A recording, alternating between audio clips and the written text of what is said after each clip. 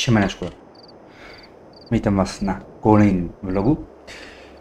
Dzisiaj, dziś jesteśmy na łące, nie na mojej łące, gdyż dogadałem się z właścicielem, który dostałem propozycję. To było po, powiedzmy w poprzednim vlogu mówione. No i dogadałem się odnośnie dzierżawy. Już wam pokazuję co i jak, bo wolę wam to pokazać na odcinku, po prostu było to uwidocznione, to się mówi nagrane i zrealizowane.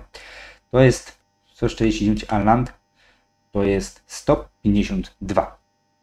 152, bierzemy sobie dzierżawę, szukamy 152. Zaraz będę mówić czemu nie mam pieniędzy na koncie. 152, to jest hektar 16. Koszt dzienny dzierżawy to jest blisko 700 zł. Ale bierzemy, ponieważ no, potrzebne nam nie są tam całe 8 tysięcy. Jest taki kawałek łąki. Zawiniam się. Tutaj się mm, tak ładnie zawija. Blisko. No i tu jeszcze mamy z drugiej strony łąkę i to jest wszystko w moim teraz posiadaniu. Dobra, już będziemy zaraz mówić co i jak, tylko wejdziemy sobie do czystki, żeby po prostu już można go kosić. Wiadomo, na początku będę chciał sobie okosić tu na spokojnie. Kosić sobie na spokojnie, żeby po prostu mm, było coś słychać. Mam nadzieję, że nie za głośno będzie wszystko. Ewentualnie trochę przyciszę gierkę. Chyba słuchawki, słuchawki mi piszczą. Chyba. Yy, gdzie to jest? Głośność, głośność, głośność. Yy, głośność pojazdów na 60 sobie ustawmy. Myśmy trochę sam jeszcze mogli usłyszeć. No i co? Bierzemy sobie dwójeczkę na polowych. Na jej pierwszym przejeździe. Nie chcę być szybko, żeby to po prostu czegoś nie uszkodzi. Tej łąki jeszcze nie znam. I tak, M7 900. 5200 bodajże. Hmm, to jest 1000, taka 5200 dokładnie, tak mi się zdaje. Zapłaciłem za wapno 4000 no i kupiłem za 200 za 300 zł paliwa. Za 800 zł zrobiłem 30 widzicie jest remont, znaczy remont, remontowana jest po prostu naprawiona ponieważ jak mówiłem w poprzednim odcinku coś tutaj się działo yy, z silnikiem no już tam lekkie problemy wychodzi zostały to one zniwelowane przeze mnie wiadomo. I po prostu takie koszty, a nie inne bieg wyniosło. Więc mamy cieskę naprawioną. Na szczęście, bo powiem szczerze, że ta czerwona 30 już ma też swoje bolączki, a zwłaszcza po, tak powiedzmy, po tym ładowaniu wapna właśnie, które było, zwojnica. 30, no wiadomo, na duży ciężar miała, yy, widocznie tego wapna było za ciężkie wapno, i zwolnica, która właśnie była podrywana koło, no, się dość dobrze obluzowała i cały olej ze zwolnicy poszedł. Wiadomo, teraz mi ten prac no, tak? Więc nie mogę mm, sobie pozwolić na przestój między bolami. Tak była wrona 30, mm, więc nie mam czasu po prostu na zrobienie tamtej 30. Więc na to teraz będzie tam to też robiona ta zwolnica, ale potupiło posiano kosa, więc wszystko niestety będę musiał robić tutaj tą cieską. Tu jeszcze miałem, sprawdziłem sobie ciśnienie układu.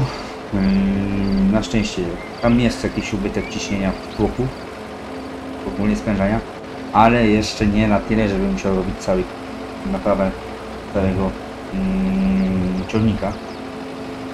Więc na razie dobrze jest, tragedii nie ma.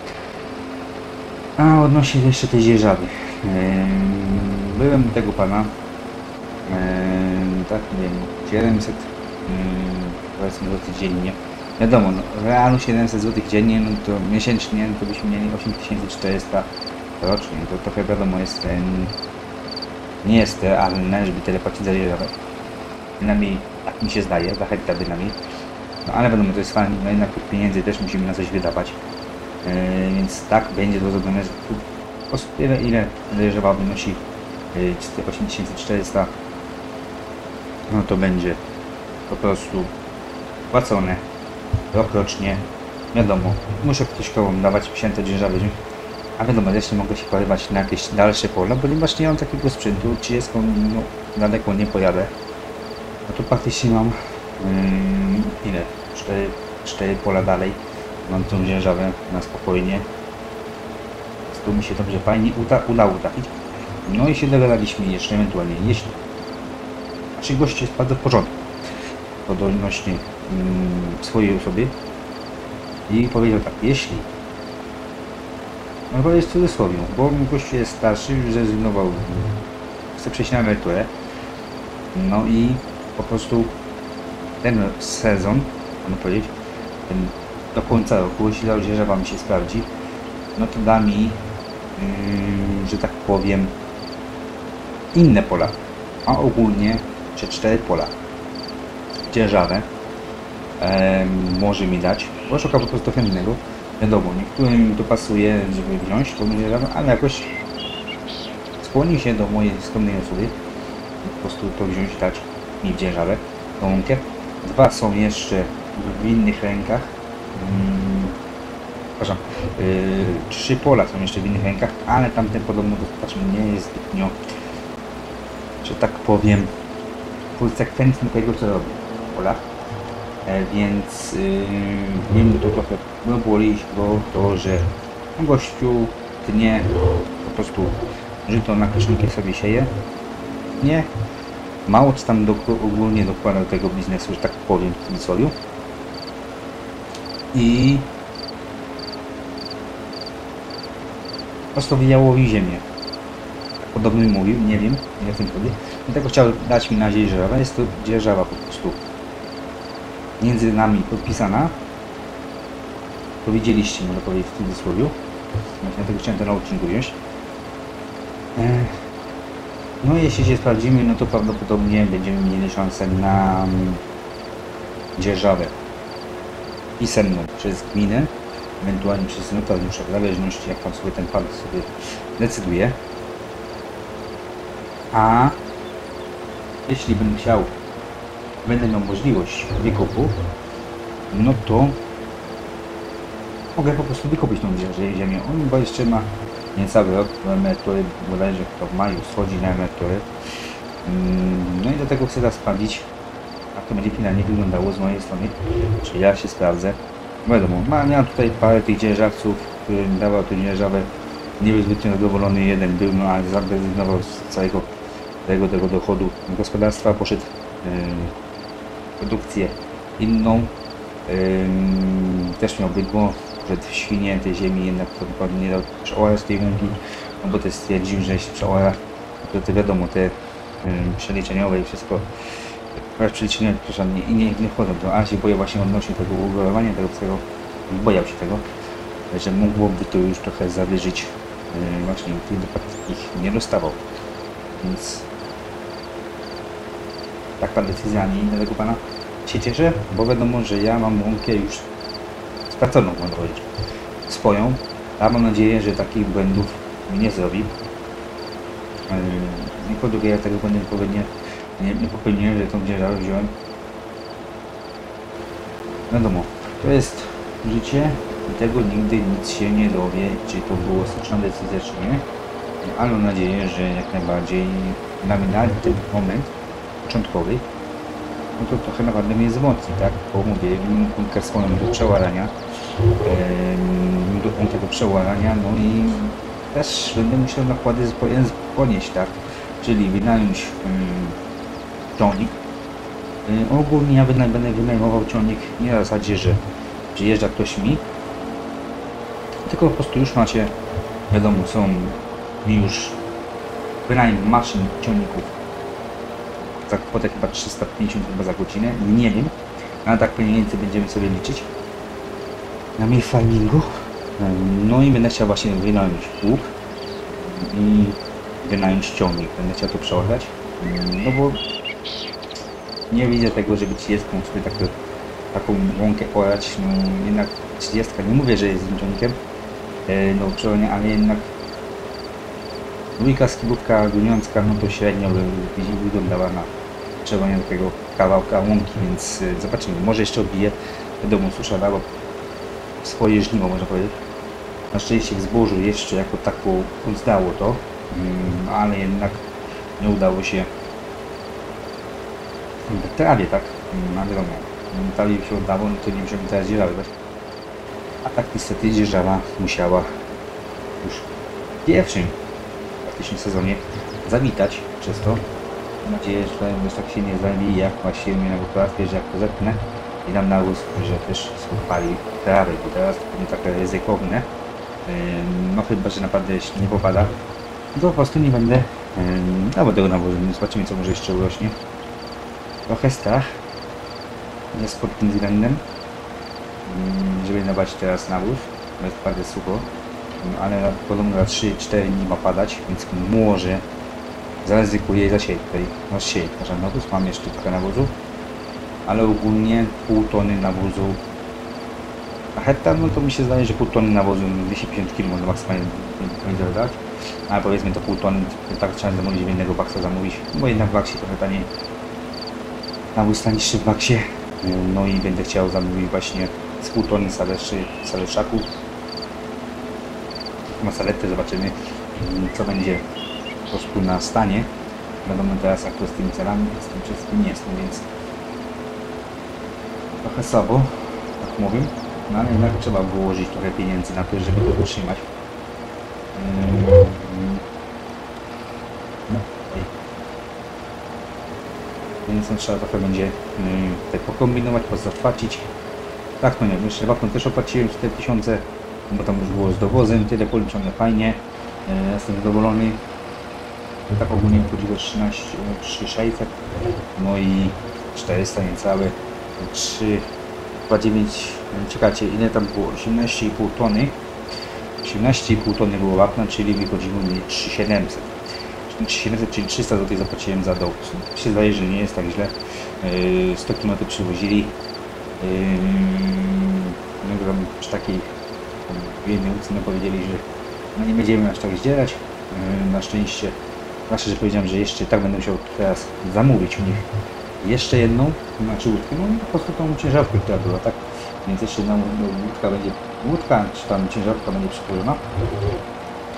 Na gospodarstwie tak wiadomo, że jeszcze będę musiał dać wapno po pszenicy i będę musiał dać wapno po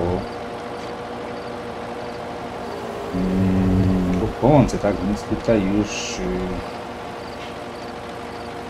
swoje koszta muszę znowu ponieść, tak powiem, no ale wiadomo, trzeba ponosić koszta, żeby coś później zabrać, tak? Mm, No i pewnie po łące będzie owies. Bo tak najbardziej wydawało się. Może jeszcze coś tam tej tawy urośnie na tej październiku. Coś w tym stylu, jeśli nie odbije, no to tak już będzie ewentualnie mm, ta będzie przerywana, ale myślę, że może jeszcze ciut odrobinkę jakosianka na październiku sobie zetnę, bo tak to by trochę było. Znaczy trochę słanie. No hektar tej, tej łąki nie jest wiadomo nawieziona, no jest duża, no taka nie wiadomo, bo to nie było wcale dawane, tak jak urosła, ona jeszcze wcale nie była koszona. Jak ten pan mówił, Mierzawca tego wcale nie kosił, a z roku kosił, właśnie tak wychodziło, że lipiec, sierpień by kosił. No i ten pan mu wypowiedzę, dał mu no powiedział, że daje mi dzierżawę no to wam już po prostu nie mógł skosić, tak? Więc skosił, choć mógłby to zrobić, bo wiadomo, że to po prostu padnie na papierze. Ale miał właśnie nabity ten gościu tak, że rok rocznie podpisuje z danym dzierżawcą mm, umowę. Właśnie, go, no wiadomo, po roku czasu między sobą jak się da, no to po prostu wyrzuca go, no i nic nie może z tym zrobić. A gdyby nawet to przez tak to samo mógł zrobić, mnie nigdy nie zabronił yy, dzierżawę na rok czasu wyrzucić właśnie po roku czasu. Zobaczymy, czy to fajnie odda. Łączka dość fajna, fajna, pasowna właśnie pod yy, taką kosiareczkę. Jak najbardziej. Yy, czy jest tutaj a, je fajnie ro- robi znaczy po tym remoncie yy, i mam nadzieję, że teraz dłuższy czas będzie wchodziła. Tam będzie jeszcze kapitalny remont całkowicie przynosi, nie przechodzić. No ale to będą gdzieś na tej pozwolić zabawę gdzieś yy, to przychodziło, nie teraz na zimę. Ale wiadomo, to jeszcze są takie maszyny, które są jeszcze tak w 100% tak niesprawdzone pod względem technicznym, tak? Ja ich, też ich nie katuję, nie piłuję zbyt tak powoli, żeby po prostu móc na spokojnie po prostu obrobić, nie wkładać się na magię pieniędzy, tak? Dla mnie to zalany olej świeży, yy, który był na właśnie przelewany, zrobiony, wymiany, wymiany, nie sobie się mówi, wymieniony olej, wszystko powymieniane, tak podstawowe rzeczy, czyli właśnie powiedziałem olej yy, i zalany nowy fit, fit oleju i tak dalej, i tak dalej. Wiadomo, takie rzeczy podstawowe muszą być wymienione, żeby po prostu dochodziło, tak? A teraz po prostu sprawdzamy to naprawdę po, po grubości, no bo wtedy do tego gościu ja no to mówię, że już mówiłem w pierwszym vlogu, może powiedzieć, co zrobił, że no, miał firmę parę kupio na firmie, a że firma bankrutowała, on zobaczył sobie wiadomo, dawać sobie grzywę, to, że nie mieli z czego ciągnąć, że z gospodarstwa ciągnęli. Nie wiem, czy tak można, ale tak zrobili, inwestowali, no i, i trudno. Jednej strony dla mnie lepiej, bo kupiłem praktycznie za 250 tysięcy, po prostu miałem swoich, jest 150 tysięcy kredytów, a właśnie po kredytu, kredytu, kredytu, kredytu, no to zostało mi 138 tysięcy. Do spłaty, 2700, yy, prawie do 800 miesięcznie do spłaty, więc no troszeczkę tej kasy na sam kredyt muszę wydawać, a na szczęście jakoś się fajnie wychodzą, wiadomo, plus wypłata, na razie yy, pracuję, yy, no bo coś muszę no po prostu nie utrzymam się tak typowo z samej gospodarki. Yy, jak, chyba, że teraz zainwestuję dość grubsze pieniądze, może w TMR, no wiadomo, 2700, 800, no to nie jest jakieś tam złe, nie są duże pieniądze. No że właśnie to jest ten okres 60 miesięcy, jak się nie będę, tak 60 miesięcy, jeszcze 55 miesięcy mam do spłaty. Yy, no to rzeczkę jeszcze muszę do 5 miesięcy spłacam, więc tutaj muszę czekać 7, 7, 7, czekać klasa, to poszedł teraz naprzód, więc do 5 miesięcy spłacam. Więc no zobaczymy, czy wam finalnie wyjdzie, czy uda mi się to wszystko spłacić. Nadpłacać raczej bym nie chciał, wolałbym bardziej zainwestować, jeśli mi wypadek jakieś fajne pieniążki, zainwestować w dalszy rozwój gospodarstwa, w ziemię, no ale będą ziemia tutaj jest praktycznie poza moim zasięgiem, jeśli są ceny, nawet Wam pokażę blisko mojego, moich budynków, oczywiście z gospodarowania, e, no to są, mamy tutaj te trzy pola. No tu jeszcze mamy pole, które jest w miarę 25 mm, tysięcy, no ale tutaj następne 72 tysiące. E, najbardziej klarownymi polami to są tutaj 16 tysięcy, 11 yy, tysięcy, no to byśmy jeszcze byli gdzieś w stanie to wyciągnąć, tak? No ale też te pola nie są jakoś duże, no. A tak nie patrząc, no to tak około tych 40 tysięcy, no trzeba jednak kogoś liczyć, tak? Yy, to 106 tysięcy, widzicie, yy, no to trzeba trochę będzie swoich pieniędzy mieć yy, po prostu, żeby wiadomo, na razie chciałby kupić tu blisko mojego gospodarstwa, żeby nie cieskam dość daleko nie jeździć, a później no, po biegiem czasu będę chciał się rozwijać w nasze rejony, tak? Yy, jak najwięcej. Im większe pola, tym dla mnie były lepsze. Ale wiadomo, to jest kwestia pieniędzy. Dlatego jest taki poziom, takie jest wszystko poustawiane w tej grze przeze mnie, żebym po prostu też miał możliwość nie zamulać na odcinkach. Zresztą cały czas nie jeździł nie wiem, jednym ciągnikiem, nie robił yy, tymi maszynami przez 3-4 sezony, tylko po prostu jeśli będzie potrzeba mi to kupię na tym sezonie jeszcze ciągnik czy coś innego do gospodarstwa, żeby po prostu to się pieniądze upłynniały, tak? Będziemy mieli pieniądze, to będziemy je upłynniać w miarę możliwości. No teraz nie mogę tej zbycia tych pieniędzy już, które mam teraz blisko 8 tysięcy, ponieważ muszę, wspomniałem, jeszcze kupić także 18,5 tony yy, wapna. Ja też nie mogę sobie fajnie, no też umie po 4000. No a teraz będę coś chciał pewnie no krocznie po tyle dawać yy, na każde pole. Z tego względu, żeby po prostu jakoś to fajnie yy, poczekajcie, teraz czy ja bym tu możliwe, czekajcie, wyłączymy sobie. Czy ja mam możliwość gdzieś tu przebiegnąć? To nie wymaga wapna. Już się wystraszyłem. Czekajcie, czy ja mam tu jakoś przejechałbym? Teoretycznie musimy tylko wyjechać, tutaj przyjechać, dobra, tylko muszę zrobić po prostu, żeby kosiarki nie składać. Powolutku, żeby to się tutaj mi cięgno nie urywało, bo tego bym zbytnio nie chciał.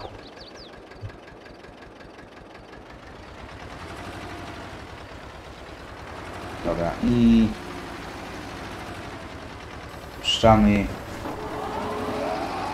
jak się we mnie odpę- odpędzą. Dobra, i możemy sobie, czekajcie sobie tak na spokojnie, to sobie może tak od razu wytnę. Mm, No, tak rzuciłem tak samo że odcinam jakoś cudem tak. Zawsze zaczynam od dołu, dopiero zapłynie się odprycinam. Tak się przyzwyczaiłem, tak sobie tnę. O kur... oj fu. A, to, to, to usłona, to się nie stało. Na szczęście słońce, to wie tam osłona to jest taka rzecz, która by szybko poszła do Boża twarz, nie to chciałem. Osłona to się tam nie będę martwił. Bardziej, żeby tylko spic nie urwać. Siacy to będzie już tam no będzie najważniejsze, tak? Ej, nie, ja sobie gdzie? Gdzie? Nie, dobra. Myślałem, że mogę e, kosiarką sobie ogarniać e, po wapno. Tak ciekawość nie nazywa to. No nie trochę odpić, no nie można powiedzieć. Hmm. Patrzcie mi tylko jak to z jednością będzie tej, tej trawy. Bo jak to nie było tak dawane zbytnio nic, na powiedzieć. To jestem ciekawy, jak to będzie teraz wyglądało tak. Teraz tylko przestrząsnąć. Eee, I pewnie zgrabi poza odcinkiem, żeby was też nie zanurzać tym pewnie sierpniem. Więc pewnie to wszystko porobi poza odcinkiem. Mm, Jest jeszcze na pracowity piątek to ogarnąć, e, żeby jednak ten te odcinki codziennie, dopóki jest możliwość, to po prostu cisnąć codziennie, tak, żeby to też fajnie mm, szło. A później zobaczymy, no. Myślę, że będziemy się widzieć na, na wrześniu na siewach po prostu już. Eee, na przykład jeszcze zrobimy dopasowanie. Zobaczymy co jeszcze. Pomyślę co będziemy jeszcze robić ewentualnie. Mm, już na tym sierpniu już jeszcze czasy jesteśmy. Jednak wskaźniła spędziliśmy na, na sierpniu. Ale w sumie tak patrząc, no, gramy tak, próbujemy namiegać w miarę realnie. Nie mówię, że to jest perfekcyjnie realnie. Tak patrząc racjonalnie, no to wiadomo, że w sierpniu czy w lipcu się najwięcej roboty mało, jak się ma hodowlę, no to wiadomo, trzeba jeszcze jakieś plony pozasiewać, coś w tym stylu. No to wiadomo, że jeden miesiąc naprawdę jest intensywny wtedy, tak. A jak się to pokryje jeszcze siano kosami, no to w ogóle jest w momencie odwoić. A w tym momencie wychodzi, tak? Że mamy, mieliśmy żniwa, zawania spomy, teraz mamy znowu siana yy, robione, no to po prostu no, z życia wzięte, tak? No, tutaj tego nie, nie przeskoczymy, yy, bo chcemy to zaeksportować jak najwięcej. Zatem mówię, ten sierpień jest długi, ale z jednej strony mówię, dla życia realnym musimy tak samo robić, żeby po prostu robić jak najwięcej w kolejnym miesiącu. Ja nie sobie tej krzaczki, duże kabiny mam, tutaj tam trochę lakę przy kabinie przyrysuję. Nic Więcej się nie stanie.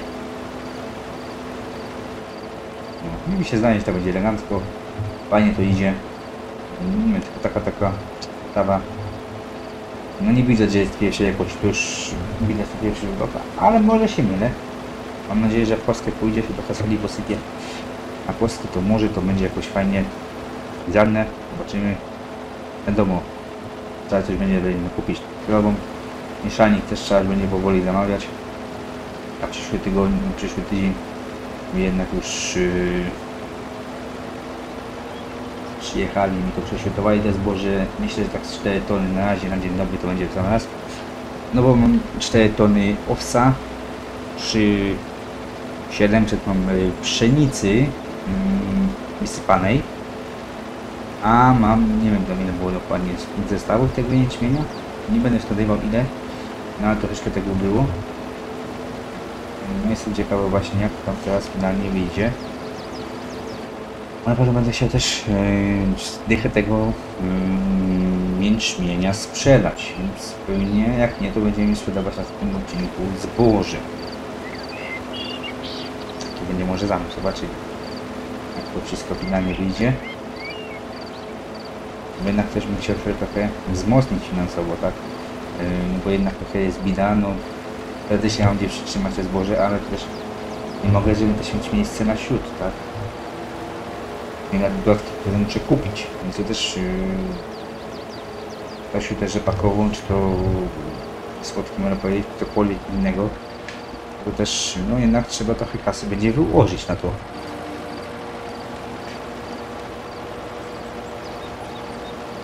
To tak będzie właśnie, proszę Państwa. Jak no, trzeba włożyć tylko, żeby z tego prostu. No jest, yy, przeglądałem, chcę kupić siutę sojową, siuta sojowa na ten moment 2800 tona. Yy, do tego jakieś witaminy, to jest koszt 500 zł. Plus minus oczywiście, tak mówię, yy, w zależności też jaka gramatura, ile witamin na kilogram masy ciała trzeba dać, czy tam na sztukę ale powiedzmy te 500 zł za jakieś 100 kg na razie myślę starczy. Powinno starczyć witamin do tego kreda pastewna, żeby po prostu nie, żeby się nie odpapiły. Wysłocki na wzmocnienie, można tak powiedzieć bardziej na apetyt, czy nie? Eee, no i chyba wszystko mi się zdaje, bo jeszcze będą jednak swoje rzeczy, no to mówię, no z pół tony tej soi, tonę tej soi trzeba będzie kupić. Y, Blisko 3000, więc już tam odchodzi. E, witaminy 500-700 zł. Mikreda mm, 400, 200-300 kg na 100 na tonę danej rzeczy. No tu mamy jakieś mm, 200, to macie 800 w 4 tonach, tak. Yy, plus, no wiecie, to skoro wchodzi, no to mówię, z piątka wszędzie jeszcze nie policzyć, że to wszystko w kilogramach wyjdzie, tak. Więc 5 ton yy, materiału będzie przeświatowanego. No i 5 ton po 90 zł, no to macie 450 zł na przeświatowanie. No to do tego muszę sprzedać, żeby po prostu to kupić. No i przeświatować, tak.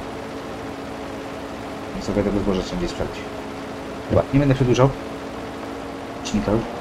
Więc w dzisiejszym odcinku było wydane tyle. Jeśli taki odcinek Wam się spodobał, proszę komentarze. Dzięki za oglądanie trzymajcie się następnego odcinka. Na razie, cześć.